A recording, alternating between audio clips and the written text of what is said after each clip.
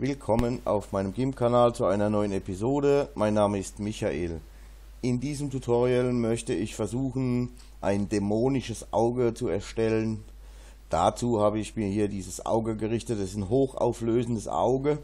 Ähm, den Link dazu gebe ich in die Beschreibung des Videos mit hinein. Das Foto steht allerdings unter einer Creative Commons Lizenz. Ja, das könnt ihr alles in der Beschreibung nachlesen. Ähm, dazu habe ich mir hier so ein Alligatorauge gerichtet und auch ähm, ja, eine, eine Roststruktur, die findet ihr auf Pixabay. Dazu habe ich euch auch den Link dazu äh, in die Beschreibung des Videos mit hineingegeben und den Alligator, den findet ihr wohl auch dort. Und ähm, ja, die Schwierigkeit bei der Geschichte ist, wenn man hier dieses Dämon, dieses Auge von diesem Alligator hier einfügen möchte, dann äh, ist das natürlich von den Farben her ein, Riesen, ein Riesenproblem, das anzugleichen. Und äh, das wird nicht ganz gelingen, kann ich gleich schon sagen. Ähm, aber ich werde mir große Mühe geben, das so einigermaßen hinzubiegen. Ähm, ich habe keinen besseren, kein besseres Auge gefunden ähm, das sich da farblich besser anpassen lässt. Wenn ihr was Besseres findet, nehmt einfach das. Ja, okay. Also, als allererstes werden wir hingehen, werden diesen, dieses Auge zweimal duplizieren. Normal reicht auch einmal, aber ich dupliziere es jetzt einfach zweimal. Gehe auf Farben, gehen wir auf Farben, einfärben und hier nehmen wir einen Wert von 28 und hier einen Wert von 25 also beim Farbton 28 und bei Sättigung 25 und bestätigen mit OK. Nun werden wir dieses Auge duplizieren und stellen hier unseren Ebenenmodus auf Multiplizieren. Rechte, wir werden es jetzt hier vereinen, rechte Maustaste nach unten vereinen. Was ich jetzt mache ist, ich werde hier ähm, das noch ein bisschen aufhellen. Schauen wir mal, wie es bei Auto aussieht. Das gefällt mir nicht. Also gehen wir hier hin und nehmen hier bei den im hellen Bereich den Schieber und ziehen den uns ein bisschen nach rechts, na, äh, beziehungsweise nach links. Und ich würde sagen, so sieht es schon mal ganz gut aus. Ähm, vielleicht können wir das noch über Kurven ein wenig aufhellen. Hier in dem unteren, in den dunkleren Bereichen. Und ich würde sagen, Vielleicht so in der Richtung in etwa. Was wir jetzt machen ist, wir gehen nochmal auf Filter, verbessern, unscharf maskieren und lassen einfach hier standardmäßig diesen ähm, äh, unscharf maskieren Filter drüber laufen und widmen uns jetzt diesem Auge hier. So, ähm, das Grün hier in den Augen, Augen, das möchte ich natürlich erhalten. Deshalb werden wir jetzt einfach mal hingehen. Ich dupliziere das auch nochmal wenn wir hingehen, schalten hier oder machen erstmal auf 100 in etwa, genau, dass wir das mal richtig sehen hier. Und schalten hier unten mit dem Schalter unsere Schnellmaske zu. Nun nehmen wir uns den Radierer. Ich nehme hier eine 0,75er Pinselspitze und stelle jetzt hier einmal das Auge frei. So einigermaßen. Ja. Also das sollte schon so einigermaßen genau sein, wenn es irgendwie geht. Noch ein bisschen hier. Und ja. Okay, und dann füllen wir das hier ganz aus. So. Nun deaktivieren wir unsere Ebenenmaske. Da können wir jetzt mal sehen, was wir hier so gemacht haben. Vielleicht schalten wir es nochmal ein und nehmen hier unten auch noch so ein bisschen weg. Ja. Bei der, Eben, äh, bei der Ebenenmaske sage ich schon, bei der Schnellmaske. Bei der Schnellmaske ist halt schön, wenn man da mal drüber fährt, kann man, wenn man die weiße Farbe nach vorne bringt, das wieder zurückholen. Ja. Also entsteht kein großer Schaden oder überhaupt keiner sozusagen. Okay, also jetzt deaktivieren wir wieder unsere Maske und jetzt haben wir hier unsere marschierenden Ameisen, also unsere Auswahl. Äh, natürlich klicken wir hier auf die obere Ebene, dass die markiert ist und gehen nun hin, ähm, Auswahl und invertieren diese Auswahl. Das heißt, jetzt haben wir den Hintergrund ausgewählt. Gehen wir jetzt mal zurück hier und nehmen uns unsere Pipette und nehmen uns hier mal eine Farbe weg, um das Auge hier ein bisschen abzudunkeln. Ich habe jetzt hier ein bisschen dunkleres Braun genommen. Schauen wir mal, wie das aussieht. Jetzt werden wir hier eine transparente Ebene hinzufügen und ziehen uns hier dieses Braun, das wir soeben abgenommen haben, hinein und stellen unseren Ebenenmodus auf Farbe. So, jetzt haben wir, haben wir das so ein bisschen angeglichen. Erscheint ähnlich. Gehen wir mal hin, rechte Maustaste nach unten vereinen und ähm, jetzt werden wir erst einmal Auswahl nichts machen. So, jetzt haben wir unser grünes Auge hier erhalten und haben versucht, hier äh, außen herum die Alligatorhaut dementsprechend dem Auge hier anzupassen. Was nicht ganz gelingen wird, was ich schon am Anfang gesagt habe. Ähm, nun nehmen wir hier unser Lasso-Werkzeug und ziehen uns hier eine Auswahl. Das sollte schon einigermaßen aussehen hier, vielleicht so. Schauen wir mal. Wenn uns das nicht gleich auf Anhieb gelingt, können wir das ja nochmal machen. So. Jetzt haben wir die Auswahl getroffen. Jetzt gehen wir auf Ctrl C, ja, und markieren hier unser Auge. Ctrl V. Jetzt haben wir das hier eingefügt und stellen fest, naja, so einigermaßen hat es geklappt. Jetzt ähm, haben wir natürlich ein Problem, dass das Auge äh, zum Anpassen sozusagen gespiegelt werden muss. Deshalb gehen wir hier hin und nehmen unser Flip-Tool, also unser Flip-Werkzeug, wie nennt man das auf Deutsch, keine Ahnung, ihr wisst das.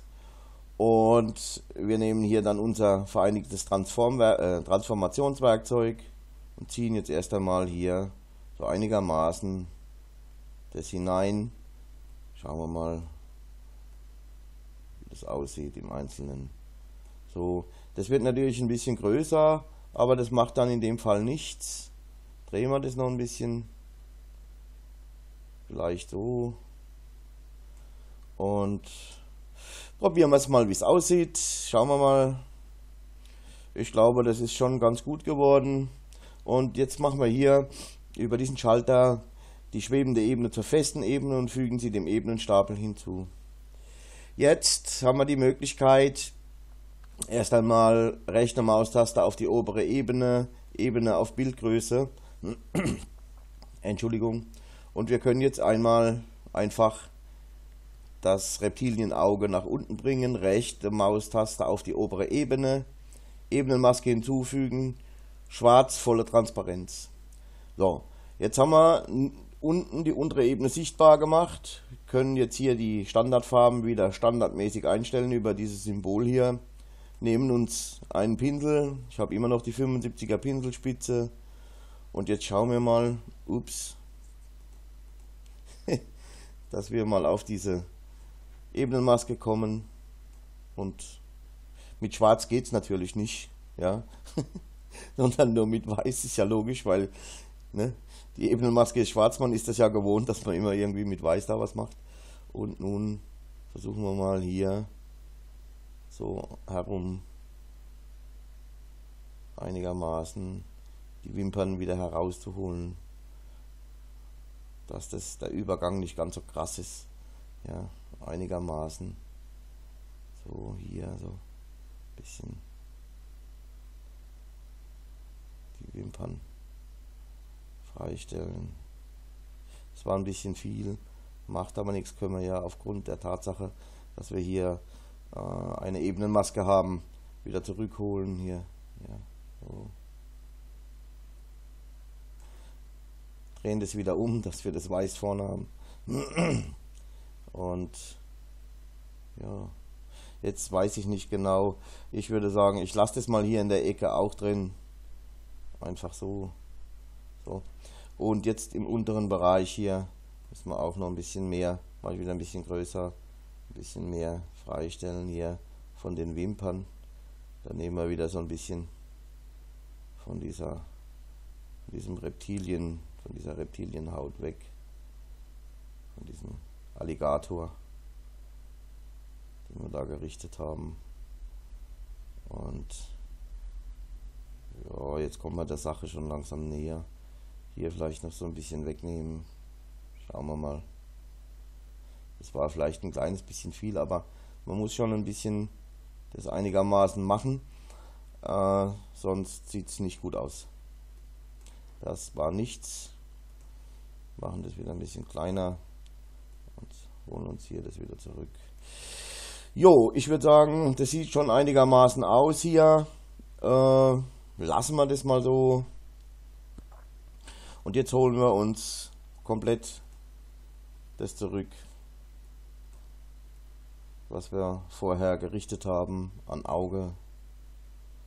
Und haben jetzt so einigermaßen dieses Reptilienauge eingepasst. Und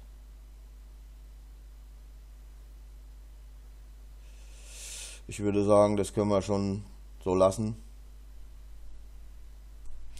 Sieht ganz gut aus. Im nächsten Schritt gehen wir hin, nehmen erstmal unser normales Werkzeug hier, dieses, wie nennt man das, Verschieben-Werkzeug. Rechte mal, äh, gehen hier hin auf diese Textur, auf diese Rosttextur. Rechte Maustaste bearbeiten, kopieren. Rechte Maustaste bearbeiten, einfügen als neue Ebene rechte Maustaste auf diese obere soeben eingefügte Ebene, Ebene auf Bildgröße. Nun können wir hier über den Multiplizieren-Modus uns äh, ja, diesen, diesen Monster, Dämonen, Auge, Crunch-Effekt oder wie auch immer man das nennen mag, erzeugen. Rechte Maustaste, Ebenenmaske hinzufügen, weißvolle Deckkraft, weil wir wollen ja jetzt noch hingehen, nehmen uns hier unseren Pinsel, machen ein bisschen kleiner und stellen uns erst einmal, mit 100% wird es nichts, sondern wir wollen das hier schon so ein bisschen an den Kanten einigermaßen weich im Übergang haben und So. Jetzt haben wir das wieder zurückgeholt. Okay. Ähm, ja, vielleicht so noch ein bisschen. Immer schön. Ihr macht es natürlich viel besser als ich, ist klar, nicht? Okay, da oben sehe ich noch, da ist noch so ein bisschen was, was man freistellen kann. Okay, nun würde ich vorschlagen, ähm, rechte Maustaste, vielleicht duplizieren wir die Ebene hier noch einmal, schalten die hier unten aus rechte Maustaste auf die obere Ebene, sichtbare Ebenen vereinen. Ähm, ja, jetzt können wir hingehen, könnte hier noch ein bisschen mit Schärfe, Filtern arbeiten und so weiter, vielleicht auch ein bisschen mit noch mit dem Dutch and Burn Tool. Und schauen wir mal hier, ähm, ob wir hier noch so ein bisschen das abdunkeln können in dem Bereich, ja, ne?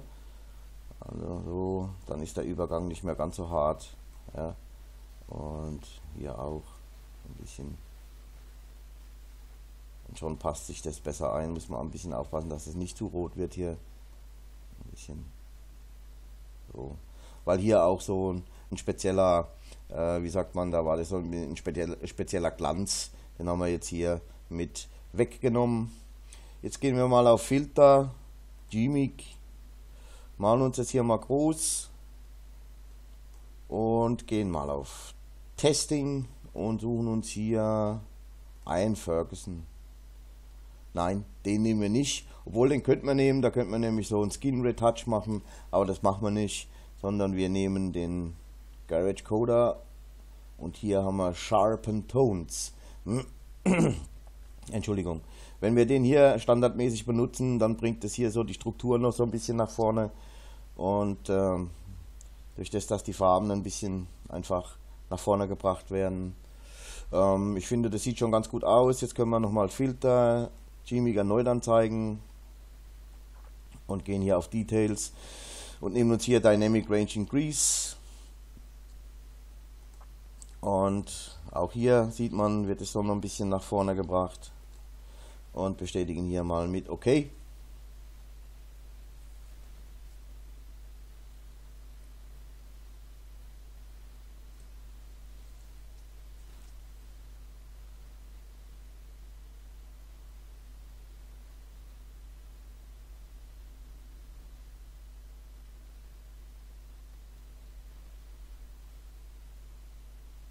Hat ein bisschen gedauert eben, weil, wie gesagt, ich arbeite hier auf 16 oder 32 Bit, ich weiß jetzt nicht mehr ganz genau.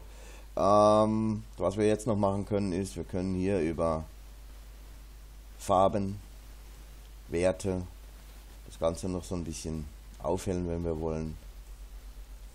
Und vielleicht hier noch ein bisschen abdunkeln in den Mitten. Es wird mir zu rot einfach, ja. Lassen wir das so. Machen wir hier auf 1 und hier auf ziehen wir das noch so ein bisschen auf.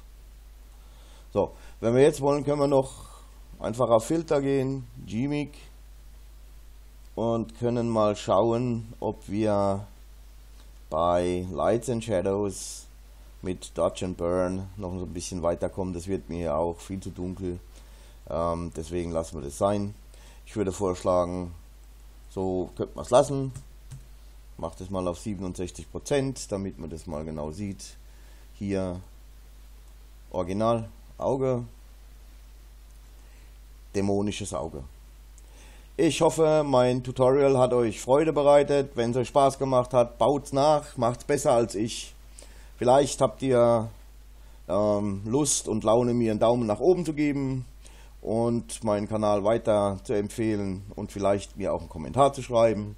Und für die Neuen, die hergekommen sind, wenn es euch gefallen hat, ja, dann lasst mir doch ein Abo da. Das würde mich sehr freuen. Herzlichen Dank. Bis zum nächsten Mal.